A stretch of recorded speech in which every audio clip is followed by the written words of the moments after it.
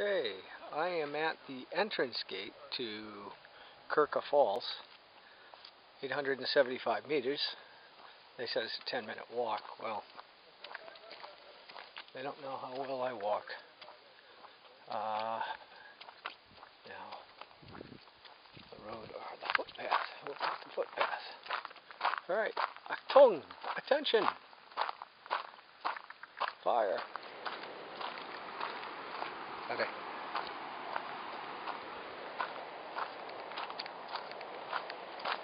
Well, I can hear the falls.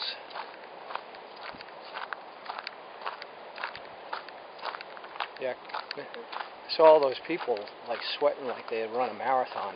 And so obviously the full 850 meters is downhill this way, uphill the other way. So the river comes down here some of it filters into there, and the rest is diverted.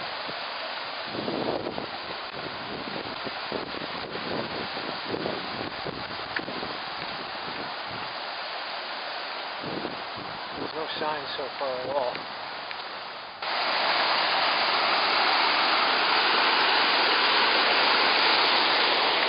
Well, this just said, said it was a footbridge.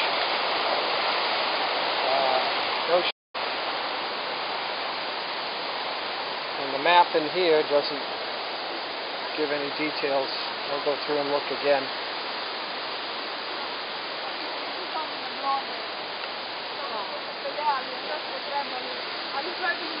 Excuse me? Oh, thank you.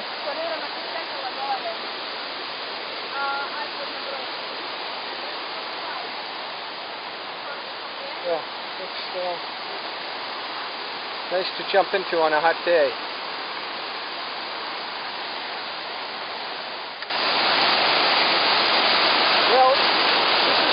Krka Falls. K-R-K-A Falls in National Park in Croatia. Today is Saturday the 19th of October. And I guess this is not the Nikolai Tesla shop.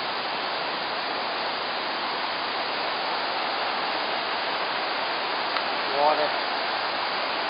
See, when you direct the water like that, increases, it's like putting it through a pipe. Increases the pressure and the force, as well as making it very directional. So you don't need as much water to, to move the generator.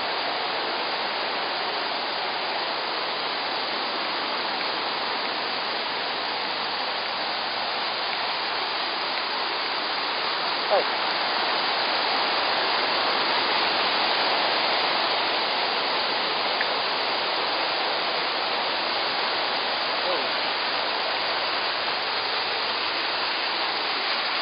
Look at this. Holy cow. There's a drain there of some sort. Another drain here. Well, I'll get this guy to explain it. Maybe they have a movie in there. It looks like they had seats. Alright, here we go. In the area of Krka River all the way to the 1960s, almost every family produced floss and sheep wool, the cloth and pulling mill.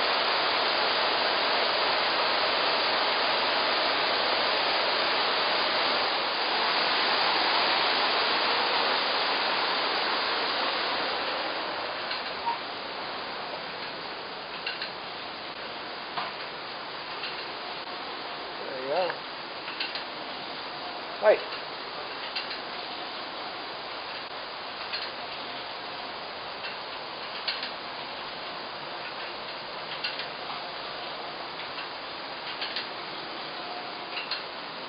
This turned by the water. Put it in there. See the oats? Put it in here. We're going to grind it out to powder.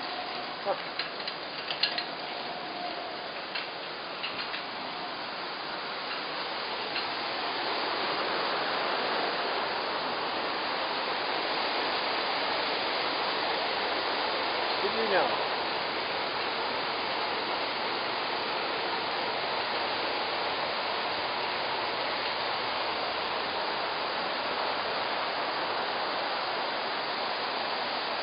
this water is being diverted. So that water is not being used.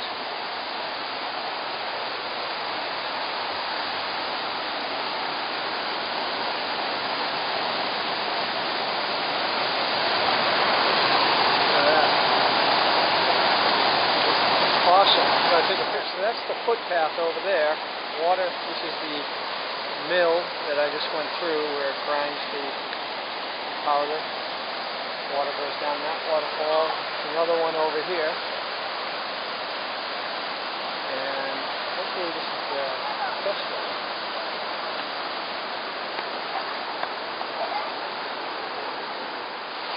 This one goes here. Yeah, yeah. Kids will be kids all over the world. Watch this little guy here when he goes up.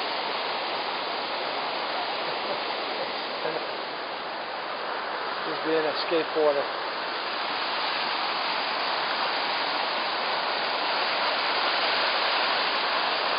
Yeah, Caroche is a funny place. It's it's got a mix of people. There's some uh, uh, some friendly people, but there are some real, real. I don't want to call them kooks, but they're just uh, socially retarded.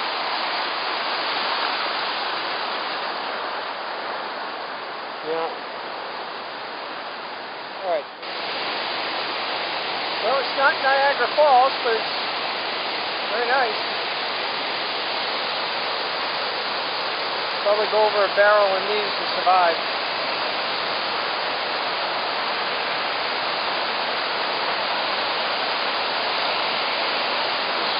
Water coming down over there too. You see it's creating a mist and a rainbow.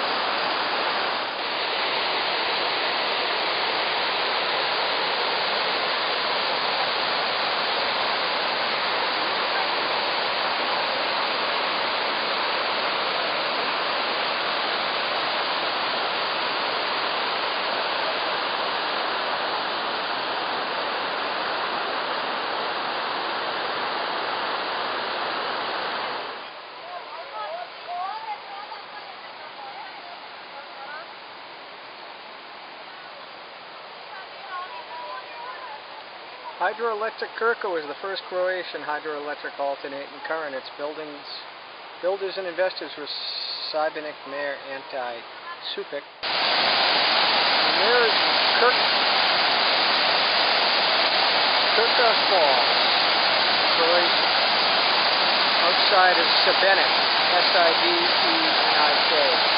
About uh, an hour north of Split guessing because I haven't been to Split yet. I'm, I'm going there next.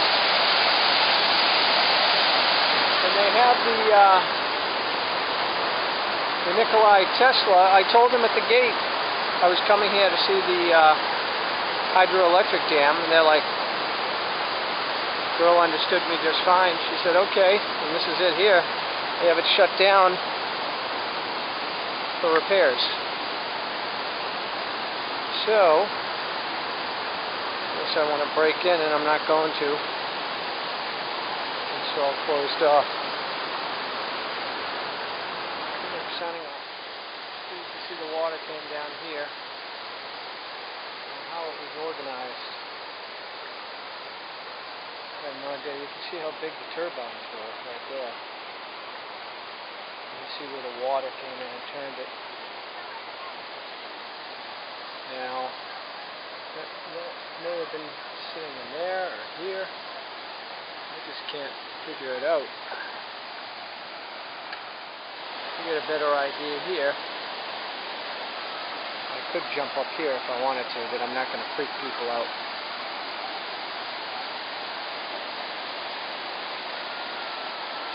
Can't really tell much anyways. I don't know what they're renovating. You can see where the water would go through there. Looks like there was a reservoir. Now, there's really nothing here. It's been all dismantled, all taken apart. Anybody want to go for a ride? Go up take a look up there. Boy, it's wet in here.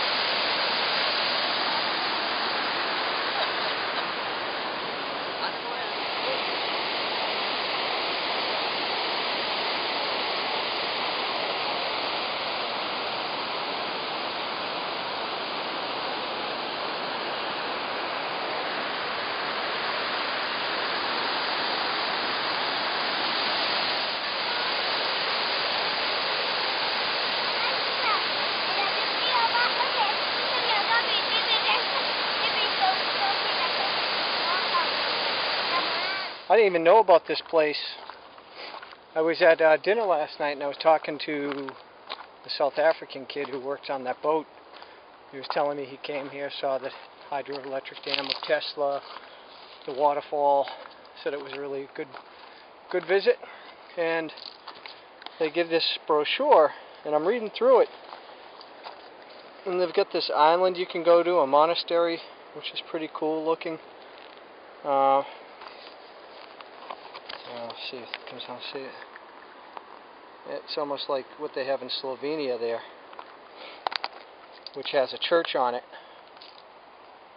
And uh, and there's also uh, Roman ruins, and they uh, from a from an encampment there, which would have been pretty cool. They do a whole bunch of uh,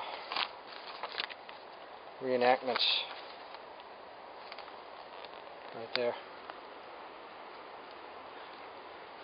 Some of the stuff's probably rebuilt. Looks too good. Um, but it's uh, the size of this place is enormous. It goes, yeah, like from one end to the other. It's 66 kilometers from the part I'm going to the farthest part up to Knin. To the monastery, it's 42. It's a two and a half hour boat ride. And they said the last boat ride was at 2 o'clock, so I missed it. Otherwise, I would have done it. And to the Roman ruins, it's 50 kilometers. So that's, uh, you know, 30 miles.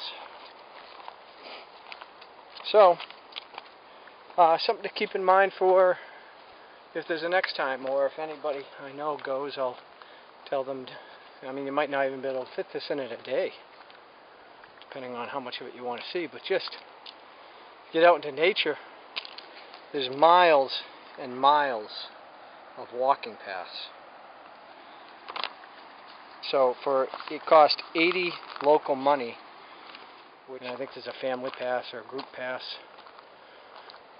So uh, yeah, beautiful day, beautiful day. It's a nice drive down except for that ticket. I left uh, 9 a.m. I got here around three, just before 3 by the time I came down here. So now I'm going to go on to Split. The kid also last night was saying Zadar, I think he said, which is uh, north of here, I think. It's either north of here or just south of here. I'm going to have to look on the map. He was saying he liked that better than Split, so maybe I'll hit that on the way back. You uh, have the option of hiking in and out in the valley. And they have benches here. And then all the people are sitting down. I'm like, get up! No, I didn't. I didn't. Two entrances. This is the Skur Skradinski, and the other side is like Lamovo or something like that. Hey, this is what I was talking about before. Is uh, the downside of making the trip on the fly is you have it like this happen where you go to a cool place and you're only there a few hours because it's the end of the day. They close at 6 and I could have gone further in on the park but instead what I'm going to do is I'm going to use the daylight to get down to Split because it's about an hour away.